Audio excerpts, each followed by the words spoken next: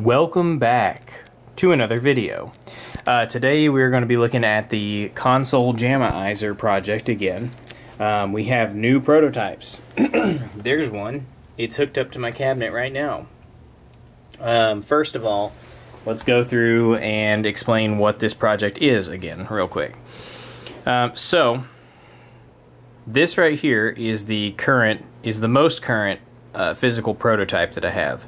And uh, what this device does is it takes an RGB SCART input and controller inputs via, uh, well, basically it was intended for the Brook Retro board, uh, but it also works with PS360 Plus uh, boards, Brook Universal Fighting boards, anything that uses that standard 20 pin header will work there.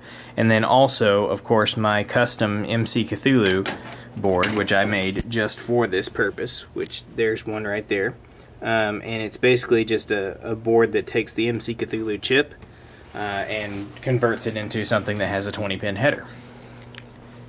Um, but this board uh, now contains active video amplification circuitry, so it'll work on 15 kilohertz uh, high impedance arcade monitors. You got the THS 7375 uh, with uh, AC biasing to um, on the input to uh, allow for a fully DC coupled output. So there shouldn't be any kind of fluctuations in brightness or anything like that on any monitors. Um, then you've also got an LM1881 sync stripper, uh, which will handle stripping uh, composite sync out of composite video or Luma, depending on what console you've got connected here. And then over here we have an LM386 based uh, mono sound amplifier to provide audio uh, to the speaker pin of the JAMMA Edge. Um, that's pretty much the main functionality. Now over here you have the option to uh, do stereo audio out if you have a cabinet that's wired for stereo, um, as mine is. And then you also have uh, volume control through a potentiometer here. There's also the option to turn JAMMA audio on or off. So if you are not going to be using the mono audio from JAMMA from the JAMMA Edge, you can actually completely turn that off and not have to worry about it. Um, down here at the bottom, uh, you have a kick harness, a CPS2 kick harness. That's to provide the extra kick uh, buttons, so you can use it with six button controls. And um, it has buttons 1 through 5 wired to the JAMMA Edge for player 1 and player 2. And button 6 also is able to be added to the JAMMA Edge for anybody who has a CHAMA compatible uh, wiring loom in their cabinet. Uh, in case you have it set up to be able to run those Chinese uh, Pandora's box or something like that, then you can eliminate the need for a a kick harness if your cabinet's wired that way by sim simply turning button 6 on the JAMMA Edge. Otherwise, you turn it off because most cabinets would have that wired to ground, which would tell the PCB, the controller PCB, that it's the button's pressed all the time. So keep that turned off unless you have a cabinet that's wired for CHAMA, uh, and then uh, otherwise, there you go. Um, so that's pretty much the entire rundown of features. There is a more up-to-date revision of the board that I am working on in my uh, board design software right now, um, and this represents electrically uh, the final product, but there are more. Uh, there are some layout changes and some added features to the newer version of the board. So that's probably going to be the final version, the one I'm working on right now. I doubt that I'll need to do another revision after this. Um, but this is the second to final, and functionally does everything that the final version will. So let's demonstrate it in action. We've got it hooked up down there to the Jammifier and we've got two controller PCBs plugged into it and we've got those run over to my PlayStation 1. So let's fire it up.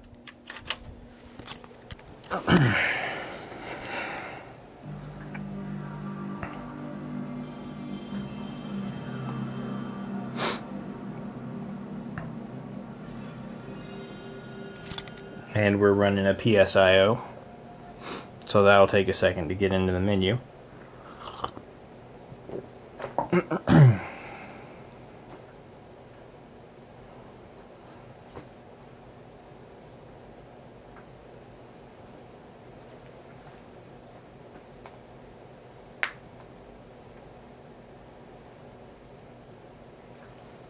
And let's shut this light off, maybe get a better view here.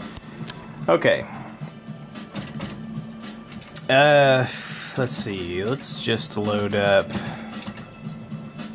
Tekken 3.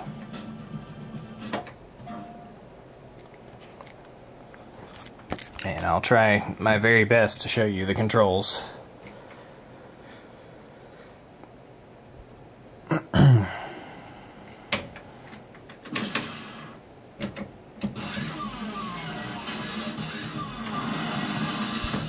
Okay.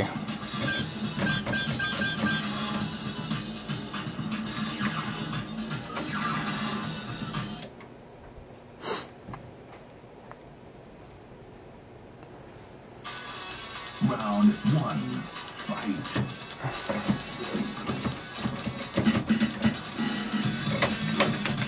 So there you go. There's some some punches, some some kicks.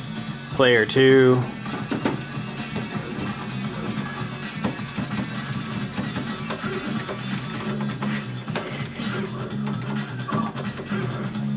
And that's that's pretty much it. So, I know, super exciting.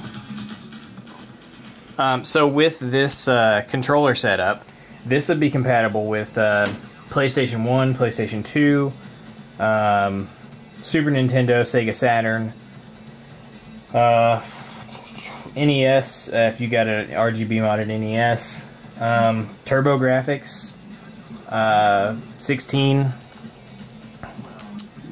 uh, probably others. I can't think of them right now.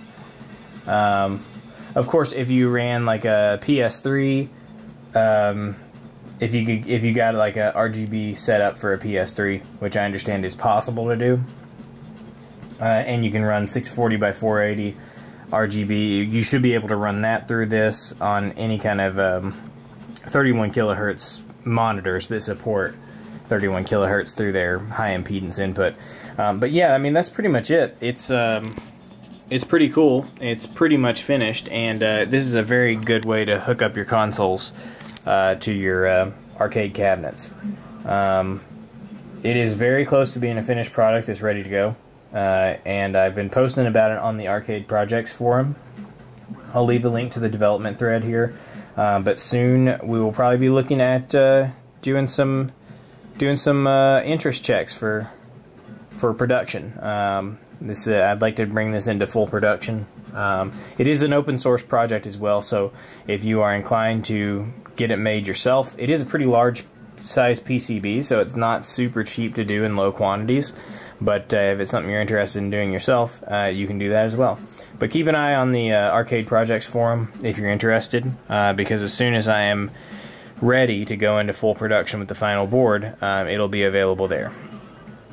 Uh, well, I think that pretty much covers it. Um, thanks for watching, and uh, if you have any thoughts, leave them in the comments. Later.